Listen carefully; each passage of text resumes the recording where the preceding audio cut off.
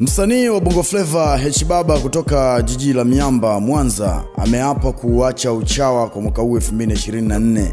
E, kuna video ambayo ameiweka kwenye ukurasa wake wa Instagram ikimwonyesha yeye yupo Fidikiu pale, yupo Philbert Kabago, wapo wadau wengine, watoto wadogo wapo pia, pamoja na rapa kutoka pale nchini Kenya ambaye anaitwa Kala Moto Kiumbe. Yeye alikuwa kama ustadhi sasa pale kumsomea dua ndugu yetu huyo hapa, ili aweze kuachana na uchawa. Sasa kuna video ambayo ameiposti Hbaba kwenye ukurasa wake wa Instagram, then kuna caption pia ameiandika pale. Kwenye upande wa caption Hbaba ameandika kwamba nimekoma, nimekoma, nimekoma, mimi wakuletewa ustaz na fidikiu anisomee dua niache uchawa, wamenikomesha kaka zangu FDQ.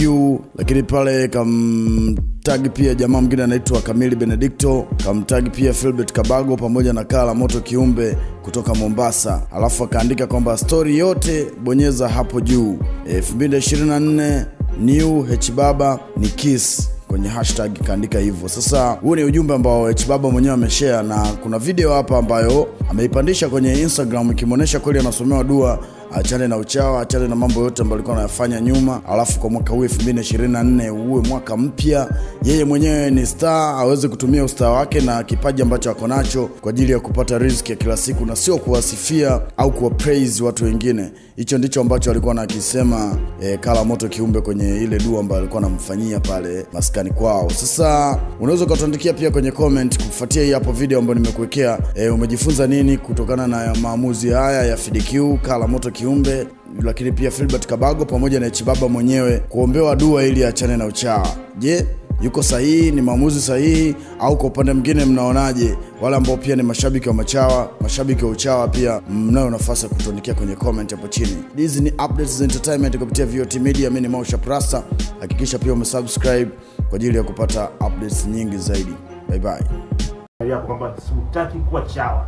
Ah, blaga, mimi hilo. Sitaki kabisa hata Dr. Kelisho tangu aliniambia eh. na wewe Faridi umeniambia Eh. na kakaangu Kabago kaniambia na leo umeniletea share nisomee niachane na uchawa niache hivyo vitu Tuko na share kutoka Mombasa, aitwa Kala Moto. Tunaomba dua. Ngona tafadhali. Tutakuwa tunasema amin sote. Sawa. Rabbana zinafahamu. Rabbana zinaema. Amin. Ee Mwenyezi Mungu, tuna hakika kwamba huyu ni kipaji na mgodo wa kutembea. Ee Mwenyezi Mungu mjalie ujasiri na uaminifu kwake mwenyewe. Ee Mwenyezi Mungu mjalie ushupavu na kujiamini basi na kuwa wasiwasi kabisa. Ee Mwenyezi Mungu mjalie kiuno chake kiende jukwani mwaka mzima. Ee Mwenyezi Mungu mjalie komenti alizokuwa anapatia wengine wampatie yeye. Ee Mwenyezi Mungu mjalie asiongelee watu wengine, yeye ndo aongelewe zaidi. Ee Mwenyezi Mungu mjalie watangazaji, mapresenta wote wamfate yeye kwa content. Ee Mwenyezi Mungu mjalie ngoma zake zote, si watoto, wajane, wa mama, mayatima mpaka wenye hela zao wazipende. Ee Mwenyezi Mungu mjalie aibebe Mwanza na Tanzania yote kwa jumla. Ee Mwenyezi Mungu ajalie kwamba yeye kuanzia leo atasikiza alichoambiwa na ndugu zake wakubwa wa Mwanza na wa- wa wawakilishe Tanzania. Amen. Bana zinafama peace up. amen ما شاء الله ما شاء الله ما شاء الله. ما شاء الله ما شاء الله.